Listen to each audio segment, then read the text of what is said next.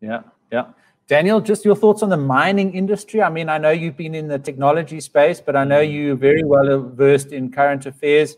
And um, I don't know if you've had any experience in the mining industry, just to help this question that we've got here. You know, that's that's we've got family who live in in Rustenburg, and they are making huge money in mining, mining safety, mining equipment. They're doing so well. So there's always going to be, but it's um, it's quite a small environment. So it, it's it's well known by the people who are in there and a new entrant, you're going to pay big money to get in there. So you've got to have something which is unique to get in, but there's still lots of money. However, if you have to look at urban mining and green mining and this new economy that's coming out, um, which is about sustainability, that's a new industry. So your barriers to entry are lower. And Africa is ripe for this. So clean energy, green energy, mining. So, so taking in Ghana and Accra, where they are, are um, um, have been infamous for um, being the, the the dump of techno from the first world for so long, burning it down and getting out gold, uranium, and all the rest of it. There is potential for big money from turning waste into worth. And uh, you know, I, I, I I mean, if you're a young entrepreneur which is not connected by people who own countries and that, then maybe look at something. You always want to look at your barriers to entry and your chance of success.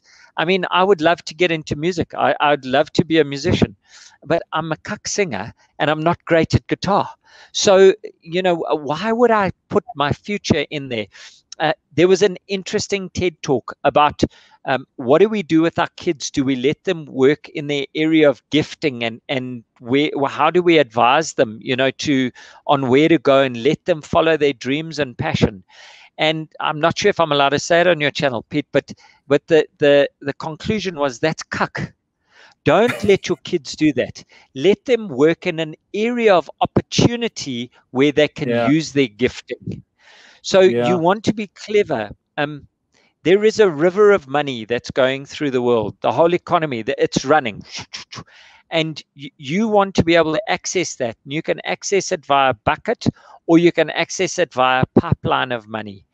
You need to be, it doesn't help if the river is here and you are over there.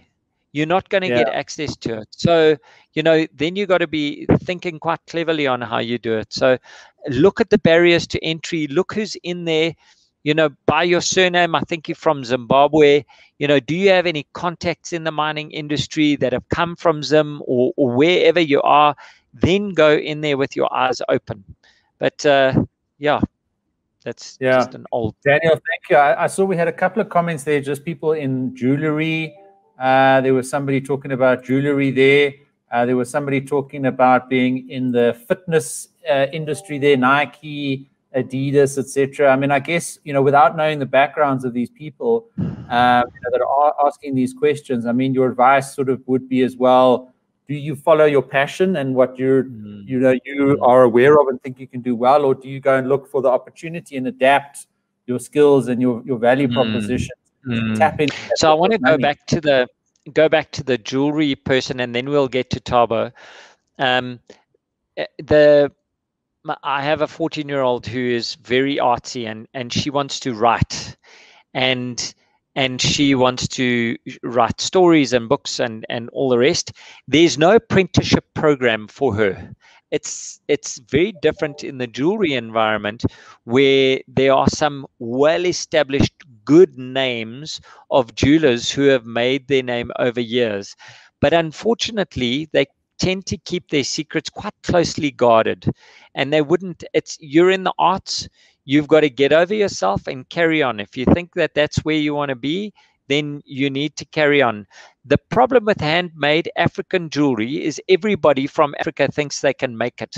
So you need to create a uniqueness a unique selling point for yourself work on your brand don't just look, work on the jewelry, work on the packaging around the jewelry and how you get noticed in that environment. But it is an uphill battle.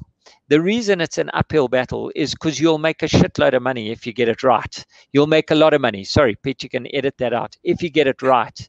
Um, but the, but that that that road is a rocky, hard road. Do it, and then you can make it. But uh, you're looking at 15, 20 years. So you yeah. you know, like get over yourself, go and do it. Uh, regarding Mr. Shoeman.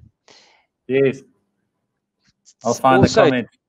Yeah, it's a it's a tough one. Saying you have the same quality as Nike and Adidas when they've got a, a, a, a factory of scientists that are making their shoes um, to get into the fitness environment. Um, I, I spend probably 10,000 Rand a year on shoes, and that's from running. And, and mm. I only buy two brands of shoes. Okay. So, and, and the reason for that is I'm prone to injury.